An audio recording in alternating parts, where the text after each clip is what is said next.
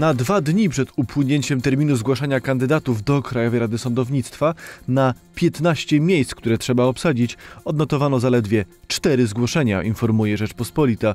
Nabór do nowej KRS ruszył ponad dwa tygodnie temu. Ministerstwo Sprawiedliwości przyznaje, że nie ma przewidzianej procedury na wypadek braku chętnych do prac w Radzie. Zdaniem prezesa Stowarzyszenia Sędziów Justitia chętni do nowej KRS się znajdą, jednak pojawią się oni w ostatniej chwili. Kandydata do Krajowej Rady Sądownictwa może zgłosić 25 sędziów lub 2000 obywateli. Amerykański sekretarz stanu Rex Tillerson powiedział, że syryjskie siły rządowe prawdopodobnie wciąż używają broni chemicznej podczas działań wojennych przeciwko swoim obywatelom. Według służb medycznych, które niosły pomoc ofiarom ataku w opanowanej przez rebeliantów miejscowości wschodnia Guta, leżącej niedaleko Damaszku, wojska Bashara al-Assada dokonały ataku za pomocą broni chemicznej. Prezydent Syrii zaprzecza, by jego wojska używały broni chemicznej. Syria miała zniszczyć swoje zapasy tej broni w 2013 roku w wyniku rozmów, w których pośredniczyły Stany Zjednoczone i Rosja.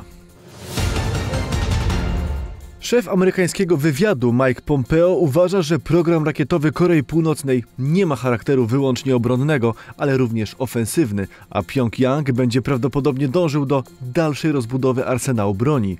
Zdaniem szefa CIA przywódca Korei Północnej Kim Jong-un nie spocznie, dopóki nie uzyska możliwości przeprowadzenia wielokrotnych jednoczesnych ataków na Stany Zjednoczone.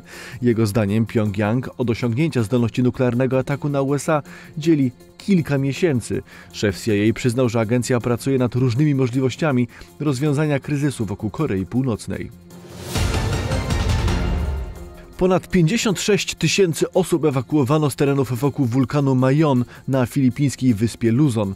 Od tygodnia trwa erupcja wulkanu. Lawa okresami tryska na wysokość ponad 600 metrów i dociera na odległość 3 km od krateru.